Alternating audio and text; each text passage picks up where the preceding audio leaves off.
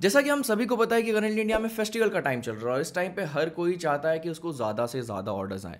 दोस्तों, इसमें मैं आज आपकी हेल्प करने वाला हूँ कि आज के वीडियो में आपको तीन ऐसे टिप्स बताने वाला हूँ, मीशो के बारे में स्पेशली जिससे कि आप अपनी सेल्स को टू से थ्री तक कर सकते हो। तो अगर आप इसके बारे में जानना चाहते हो तो वीडियो को ध्यान से देखना और एंड तक देखना, ताकि आप उसको समझ सको और अच्छे से अप्लाई करके अपनी सेल को इंक्रीज कर सको। अगर आप ऐसे और वीडियोस देखना चाहते हो e commerce related online business related तो अभी चाहिए चैनल को सब्सक्राइब करिए। तो चलिए शुरू करते हैं।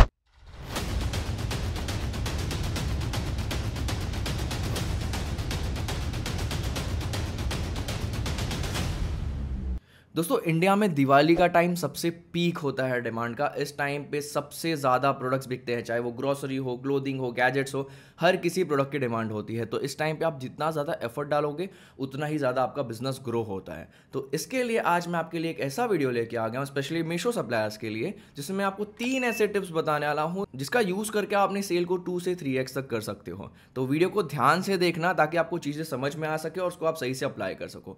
तो बिल्कुल भी टाइम वेस्ट नहीं करते, सीधा स्टार्ट करते हैं टिप नंबर वन के साथ। जैसा कि दोस्तों, आप सबको पता है कि इस टाइम पे लोग बल्क बाइंग करते हैं, चाहे क्लोथिंग की बल्क बाइंग हो, चाहे ग्रोसरी की बाइंग हो, चाहे आप गैजेट्स की बाइंग करो, जो एक आदमी खरीदने वाला है, उसकी जगह पे वो दो खरीदता है, तीन खरीदता है, चार खरीदता है, ये सोच के कि ये फेस्टिवल का टाइम है, हम ज़्यादा खरीद लेते हैं, फिर इसको साल भर यूज़ करेंगे। तो इसकी वजह से इस टाइम पर बाइंग जो है वो बहुत ज़्यादा अच्छी क्वान्टिटी में होती है। तो इसका आप बेनिफिट कैसे ले सकते हो कि आपके पास जो भी प्रोडक्ट हो फॉर एग्ज़ाम्पल अगर आप क्लोथिंग में डील कर फॉर एग्ज़ाम्पल अगर आप होम डिकॉर में डील कर फॉर एग्ज़ाम्पल अगर आप गैजेट्स में डील कर तो इसमें आप कॉम्बोज बना सकते हो। और लिटरली कॉम्बोज आपको ऐसे नहीं बनाने हैं कि pack of two pack of three pack of four ऐसा नहीं बनाना है आपको। आपको क्या करना है? देखो, इस टाइम पे ना लोग ऑफर्स ढूंढ रहते हैं ठीक है? जितना ज़्यादा ऑफ़र है, उतना ज़्यादा बेनिफिट है, ऐसा लोगों को लगता है। तो इस टाइम पे आपको थोड़ा दिमाग से खेलना है कस्टमर के। आपको क्या करना है? ऐसे कॉम्बोज बनाने हैं जिसमें कि आपको ये बताना है कि अगर आप ये दो परचेस करते हो तो ये दो फ्री है, ठीक है? आप इमेजेस में दिखा सकते हो। सीधी सी बात है मीशो में आपको कोई ऐसा एडिशनल फीचर नहीं मिलता बट आप थोड़ा बहुत दिमाग लगा के इमेजेस में ये चीज़ एडिट कर सकते हो कि अगर आप ये दो बेडशीट खरीदते हो तो दो बेडशीट फ्री है। अगर आप ये दो टी शर्ट खरीदते हो तो तीसरी टी शर्ट फ्री या फिर कोई और शॉर्ट्स फ्री है जॉगर्स फ्री है, ऐसे आप कॉम्बोज बना सकते हो। तो इससे होता क्या है कि जब भी कोई कस्टमर आपकी लिस्टिंग देखता है तो उसको फ्री वाला वर्ड दिख जाता है, जिसकी वजह से वो आपकी लिस्टिंग के अंदर जाता है और वहाँ पे उसके परचेज करने के चांसेस काफ़ी हद तक बढ़ जाते हैं। तो इसके लिए आपको ध्यान में रखना है कि स्पेशली फेस्टिवल टाइम पे जो दिवाली का टाइम चल रहा है और ये सीज़न दिसंबर तक चलने वाला है तो ऐसा आपको नहीं सोचना है कि दिवाली के बाद तो डिमांड खत्म हो जाएगी, ऐसा बिल्कुल भी नहीं है। इंडिया में जो फेस्टिवल सीज़न शुरू होता है, वो अगस्त से ही शुरू हो जाता है और कई बार ये दिसंबर जनवरी तक भी चलता है। तो इसके लिए आपको ये नहीं सोचना है कि यार मैं दस दिन के लिए क्यों इतना एफर्ट डालूँ, क्योंकि ये जो सीज़न है, काफ़ी लंबा जाने वाला है। तो इसके लिए आपको ट्राई करने हैं कि जो कॉम्बोज पॉसिबल हैं, जो आप कॉम्बोज बना सकते हो गिफ्ट हैम्पर बना सकते हो। वैसे आप ट्राई करिए कि मैं आपको एक रियल टाइम एग्ज़ाम्पल बताता हूँ। हमारे पास एक ड्राई फ्रूट का अकाउंट था, जो कि आपको पता है मीशो में ग्रॉसरी की उतनी ज़्यादा डिमांड नहीं है बट हमने क्या किया कि उसका एक गिफ्ट हैम्पर बना दिया। और उसकी वजह से खाली गिफ्ट हैम्पर पर ही काफ़ी हद तक ऑर्डर्स आने लगे मतलब बाकी जो इतने नॉर्मल प्रोडक्ट्स पर नहीं आते, उससे ज़्यादा गिफ्ट हैम्पर पर कॉम्बोज पे ऑर्डर्स आने लगे। तो इसके लिए आप भी कुछ ऐसा कर सकते हो, आप भी अपना थोड़ा बहुत दिमाग लगा सकते हो और कॉम्बोज बना सकते हो कस्टमर के डिमांड के हिसाब से। और फिर वहाँ से अपनी सेल्स को इंक्रीज कर सकते हो और अच्छे खासे ऑर्डर्स ले सकते हो। इसमें एक इंपॉर्टेंट पॉइंट ये भी है कि जब भी आप प्रोडक्ट कॉम्बोज में बेचते हो तो उसमें आपको और भी बेनिफिट्स होते हैं। फॉर एग्ज़ाम्पल अगर आप एक सिंगल सिंगल प्रोडक्ट भेजोगे, अगर वो रिटर्न आएगा तो तीन प्रोडक्ट का आपको तीन बार रिटर्न चार्ज लगेगा। बट अगर इनकेस अगर किसी ने कॉम्बो खरीदा, उसको प्रोडक्ट पसंद नहीं आ रहा और वो उसको रिटर्न करता है तो आपको एक बार ही रिटर्न चार्ज लगता है।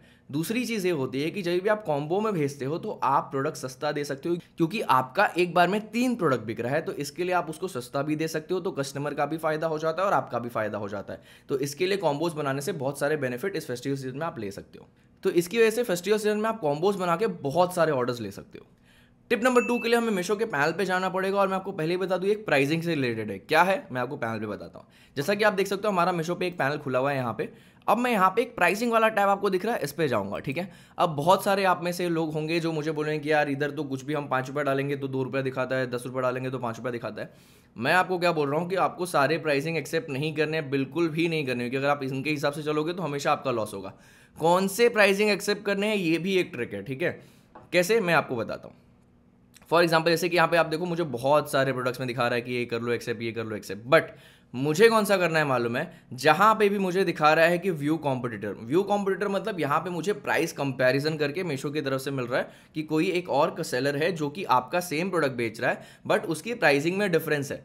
अब मैं आपको ये नहीं बोल रहा कि सामने वाला जो भी प्राइस डाल रहा है, वो डाल दो। बट अगर ऐसा कुछ है, जैसे कि फॉर एग्ज़ाम्पल जैसे कि हम यहाँ पे देख सकते हैं कि हमारी जो प्राइसिंग है वन ट्वेंटी एट है। सामने जो हमें रिकमेंड किया जा रहा है वन ट्वेंटी किया जा रहा है। तो मैं यहाँ पे आठ रुपये के ही प्राइसिंग का डिफरेंस है तो मैं क्या कर सकता हूँ, यहाँ पे मैं चेक कर सकता हूँ कि एक्जैक्टली कॉम्पिटिटर में प्राइस क्या डाला हुआ है, ठीक है? तो मैं व्यू कॉम्पिटिटर के ऊपर जाऊँगा। तो यहाँ पे मुझे सिंपली दिख जाएगा कि सामने वाला क्या प्राइस में बेच रहा है, ठीक है? तो आप देख सकते हो, यहाँ पे मुझे दिख रहा है कि 120 में सामने वाला बेच रहा है, मेरा प्राइस 128 है। अब यहाँ से आपको एक्सेप्ट प्राइस करना है। इसके बाद भी एक बहुत इंपॉर्टेंट चीज़ है। अब मेशो क्या करता है मालूम है कि आपको एक्सेप्ट प्राइस करवाने के चक्कर में आपका जो रॉन्ग डिफेक्टिव प्राइस है ना, वो बहुत ज़्यादा कम कर देता है। तो इस चीज़ को आपको ध्यान में रखना है कि आपने ये प्राइस तो एक्सेप्ट किया ही है, ठीक है? वन ट्वेंटी वाला। लेकिन आपको रॉन्ग डिफेक्टिव प्राइस मेशो वाला नहीं रखना है। तो इसके लिए आपको क्या करना है कि फॉर एग्ज़ाम्पल जैसे कि यहाँ पे 120 है तो मैं ये कर सकता हूँ कि मैं 118 डाल सकता हूँ, ठीक है? 118 मैंने डाल दिया। तो भी एक्सेप्ट हो जाएगा। तो इससे क्या होगा ना कि जो मेरा रॉन्ग डिफेक्टिव बाई में भी जो परचेस होगा कस्टमर जो परचेस करेगा, उसमें मेरे सेटलमेंट में बहुत ज़्यादा फ़र्क नहीं पड़ेगा मेरे मेन प्राइस से। तो ये चीज़ आपको थोड़ा दिमाग लगा के चलना है कि जब भी आप प्राइस एक्सेप्ट कर रहे हो तो आपको सीधा डायरेक्टली जाके एक्सेप्ट एक्सेप्ट पे क्लिक नहीं करना है। थोड़ा सा समझना है कि किस टाइप की प्राइसिंग है, क्या मेरा कॉम्पिटिटर वो प्राइस में बेच रहा है तो क्या मैं उससे कम्पीट कर सकता हूँ? अगर मैं कम्पीट कर सकता हूँ तो मुझे रॉन्ग डिफेक्टिव प्राइस क्या रख सकता हूँ, वो भी चीज़ आपको देखनी है। तो इससे क्या होगा ना कि एक तो पहली बात आप कॉम्पिटिटर से जीत जाओगे प्राइसिंग में। दूसरी चीज़ ये हो कि अगर आपने रॉन्ग डिफेक्टिव प्राइस सही से चेक करके एक दो रुपए ही कम डाले हैं तो अगर आपका प्रोडक्ट रॉन्ग डिफेक्टिव प्राइस में भी बिकता है तो आपके सेटलमेंट में बहुत ज़्यादा फ़र्क नहीं आएगा। तो इससे बहुत बड़ा बेनिफिट हो सकता है आपको तो इसके लिए प्राइसिंग एक्सेप्ट करनी है। लेकिन सारी नहीं करनी है, वही करनी है जहाँ पे आपको कंप्यूटर का ऑप्शन दिख रहा है। और साथ साथ में जब भी आपको प्राइसिंग एक्सेप्ट करनी है तो ये चीज़ देख लेनी है कि मीशो के रॉन्ग डिफेक्टिव प्राइस पे आपको प्राइस नहीं एक्सेप्ट करनी है, आपको अपना खुद का रॉन्ग डिफेक्टिव प्राइस डालना है। इससे आपके सेल पे बहुत ज़्यादा इंपैक्ट पड़ सकता है और इससे आप लिटरली जो टॉप कॉम्पिटिटर हैं, उनसे कंपीट कर सकते हो प्राइसिंग के मामले में, ठीक है? तो ये बहुत इंपॉर्टेंट चीज़ है, मैं ये नहीं बोला कि सारे एक्सेप्ट करो, लेकिन सही से एक्सेप्ट करोगे तो बहुत ज़्यादा बेनिफिट आपको मिल सकता है, ठीक है? तीसरी चीज़ आई थिंक मैं ये चीज़ पहले भी आपको बता चुका हूँ कि मेशो में दो टाइप की चीज़ें होती है। पहली चीज़ ये है कि अगर आप एमआरपी हाई रखते हो तो आपको हमेशा कस्टमर को फ्री शिपिंग दिखाया जाता है। ये एक बहुत ही बेनिफिट वाली चीज़ है कि फ्री शिपिंग दिखाता है तो कस्टमर को लगता है मुझे शिपिंग चार्ज नहीं पे करना है और कस्टमर खरीद लेता है। बहुत बार क्या होता है, क्योंकि मीशो एक बजट प्लेटफॉर्म है, आप सबको पता है, एक बजट प्लेटफॉर्म के हिसाब से मीशो पे कस्टमर जाते हैं और वहाँ से प्रोडक्ट खरीदते हैं। तो बहुत बार ऐसा होता है कि वो जो प्रोडक्ट है वो sort by low to price high से डालते हैं। अब आपने अगर फ्री शिपिंग रखी है तो सीधी सी बात है मीशो उसमें शिपिंग चार्ज ऐड करके कस्टमर को दिखाएगा। तो फॉर एग्ज़ाम्पल अगर आपने वन ट्वेंटी रुपीज़ का प्राइस रखा है तो वो ऑटोमेटिकली वन नाइन्टी या टू हंड्रेड होकर कस्टमर को दिखता है। तो शॉर्ट बाय लो प्राइस में आपका लिस्टिंग दिखने के चांसेस बहुत कम हो जाते हैं। आपको फ्री शिपिंग वाली लिस्टिंग तो करनी ही है, लेकिन साथ साथ में आपको एक लो एमआरपी वाली भी लिस्टिंग करनी है। लो एमआरपी से बेसिकली होता क्या है, मैं एक बार फिर से आपको बता देता हूँ कि फॉर एग्ज़ाम्पल अगर मैंने कोई प्रोडक्ट का सेलिंग प्राइस हंड्रेड रुपीज़ डाला है और मैंने उसका M R P one twenty rupees डाला है तो मेशो उसको कभी भी फ्री शिपिंग में नहीं दिखाता प्लस शिपिंग में दिखाता है। तो फॉर एग्ज़ाम्पल अगर अगर ऐसा कस्टमर मैं आपका प्रोडक्ट देख रहा हूँ तो मुझे hundred rupees plus seventy rupees या प्लस एटी रुपीज़ के ऊपर शिपिंग दिखाएगा।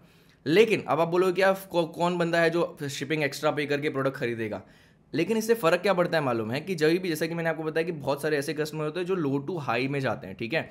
तो इससे ये होगा कि जब भी किसी ने ऐसे सर्च किया कि लो टू हाई तो आपकी जो लिस्टिंग जो प्राइस है, वो हंड्रेड रुपीज़ होगा कि मेशो शिपिंग तो ऐड नहीं कर रहा तो उसमें शिपिंग चार्ज ऐड नहीं होता। हंड्रेड रुपीज़ दिखाता है, और अगर आपका जो फ्री शिपिंग वाला प्रोडक्ट है वन एटी या वन नाइन्टी का दिखाएगा। तो इसकी वजह से जो वो लिस्टिंग है आपकी लो एमआरपी वाली, वो ऊपर आ जाता है। अब मैं ये नहीं बोल रहा कि वही आपका प्रोडक्ट बिकेगा, लेकिन जैसा कि मैं आपको बार बार बताते रहता हूँ कि मेशो बाकी प्लेटफॉर्म्स जैसा नहीं है, वहाँ पे आपका स्टोर वाला एक ऑप्शन आपको मिल जाता है। तो फॉर एग्जांपल सपोज़ करो आपने कोई एक लिस्टिंग है, इसमें आपने लो प्राइस डाला हुआ है लो एमआरपी डाला हुआ है, वहाँ पे आपका कस्टमर गया और उसने नीचे जाके आपका व्यू स्टोर किया। तो उससे ये होगा कि भले हो सकता है कि आपका वो वाला प्रोडक्ट ना बिके, लेकिन आपके बाकी प्रोडक्ट्स वो कस्टमर देख सकता है और हो सकता है कि वहाँ से कुछ परचेस कर ले।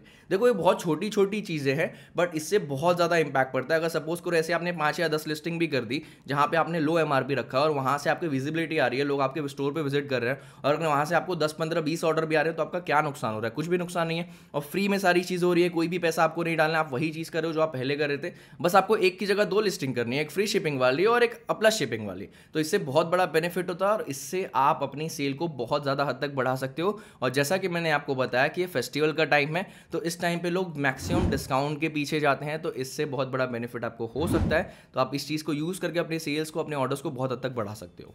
वैसे तो मैंने आपको बताया था कि मैं आपको तीन टिप्स बताने वाला हूँ, लेकिन इसके साथ में आपके लिए एक सरप्राइज़ है। एक बोनस टिप जो आपको मैं इस वीडियो में देने वाला हूँ, वो ये है। और ये आई थिंक मैंने लास्ट फेस्टिवल सीज़न में भी दिया था कि जब भी आप मीशो में डील करते हो मोस्ट ऑफ़ द सेलर्स जो मीशो में डील करते हैं, या तो वो बिना ब्रांड के प्रोडक्ट के करते हैं, या तो वो लोकल मार्केट से लाके प्रोडक्ट बेचते हैं।